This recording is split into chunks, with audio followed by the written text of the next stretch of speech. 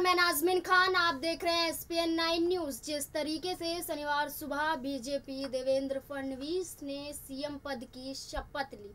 उस शपथ लेने के बाद जो माहौल गरमाया है, जिस तरीके सभी पार्टियों में भूचाल आ गया, सभी पार्टियों के नेता, विधायक सभी कुछ ना कुछ कहते हुए नज़र आ रहे थे। किस तरीके से बीजेपी ने रातों रात किसी को कानों कान खबर तक नहीं होने दी और अपनी सरकार महाराष्ट्र में बनाने का दावा भी कर दिया। आपको बता दें कि इसी के साथ साथ राज्यपाल पर भी निशाना साधा जा रहा है कि किस तरीके से रातों रात राष्ट्रपति शासन को हटाया गया और उसके बाद सुबह आठ बजे देवेंद्र फडणवीस ने सीएम पद की शपथ ली। ये कैसे हो सकता है? किसी को खबर तक नहीं हुई। कुछ नेता कुछ बोलते हुए नज़र आ रहे हैं कि ना तो शोर हुआ, ना बैंड बाजा लेके आए, ना कुछ ऐसा, सब कुछ फिक्स था। किस तरीके से ये गेम खेला गया कि वहाँ पर देवेंद्र फडणवीस ने सीएम पद की शपथ ले ली। लेकिन आपको बता दें, इसी मुद्दे को लेते हुए अब फिर से पूर्व मुख्यमंत्री और सपा के अध्यक्ष अखिलेश यादव भी सामने आए हैं। उन्होंने भी बीजेपी पर तंज कसा है और देवेंद्र फडणवीस के शपथ ग्रहण को लेकर काफ़ी कुछ बोलते हुए नज़र आए हैं। आपको बता दें, अखिलेश यादव ने यहाँ अपने बयान में ये कहा है कि महाराष्ट्र में जिस तरीके से ये देखा जा रहा है पलट फेर देखा जा रहा है, इसे देखकर ये लग रहा है उन्होंने बोला है कि जिसका गवर्नर होगा उसी की सरकार तय होगी।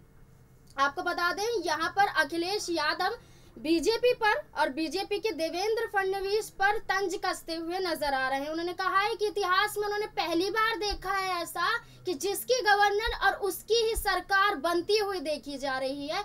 यहाँ साफ़ तौर पर उनका कहने का मतलब था कि राज्यपाल भी बीजेपी के साथ मिले हुए थे और किस तरीके से रातों रात जो ये खेल खेला गया है, जिस तरीके से ये सारा मामला सामने आया है, उसे देखकर यही साबित होता है कि अखिलेश यादव भी कहीं ना कहीं इस घमासान को देखते हुए ये जो सामने आया है, शपथ ग्रहण को लेकर, वो कहीं ना कहीं वो भी चौंके हुए हैं। उनको भी लग ही रहा था कि महाराष्ट्र में शिवसेना ही अपने आप को साबित कर पाएगी। उद्धव ठाकरे ही सीएम पद की शपथ ग्रहण कर पाएँगे क्योंकि जिस तरीके से चल रहा था कि पहले बीजेपी के साथ शिवसेना गठबंधन करने को तैयार थी आपको बता दें कहा जा रहा था कि बीजेपी को 105 सीटें मिली थी शिवसेना को छप्पन एनसीपी को चौवन और कांग्रेस को 44 सीटें मिली थी। वहीं बीजेपी और, और शिवसेना गठबंधन करके 145 सीटें लेकर आ रहे थे। बहुमत साबित करने के लिए तैयार थे, लेकिन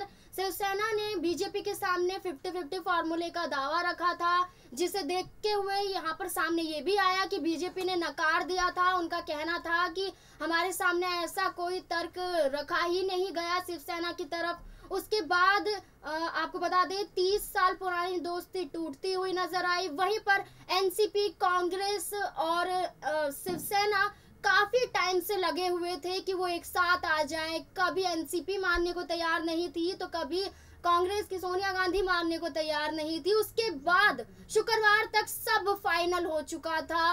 एनसीपी कांग्रेस, शिवसेना सब तय हो चुका था।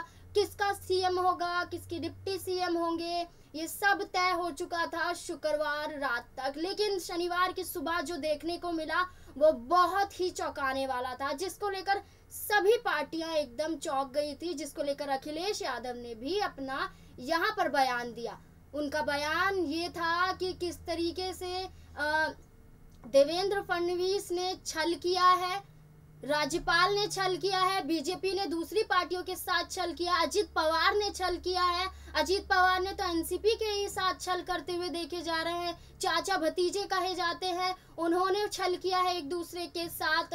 अब बता दें कि किस तरीके से सुबह आठ बजे शपथ ली, उसको देखते हुए अखिलेश यादव ने कहा है कि जिसके गवर्नर होंगे, उसी की सरकार बनेगी। ये एक बड़ा मुद्दा है, जिस तरीके से अखिलेश यादव ने यहाँ पर अपने बयान में कहा है।